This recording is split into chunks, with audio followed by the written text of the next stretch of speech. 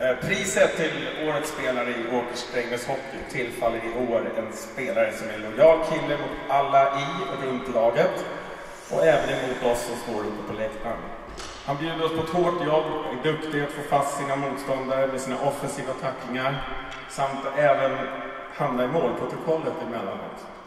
Så när röstsedlarna var räknade i Åkers Sportcentrum så var det ingen tvekan om vem som skulle få priset. För nästan 50 procent tyckte likadant. Så jag tycker vi reser oss upp, applåderar säsongens pristagare som dessutom kör sin hundrade match i Åkers Drängnes-tröjan. Stort grattis nummer 21, Mats Hjort!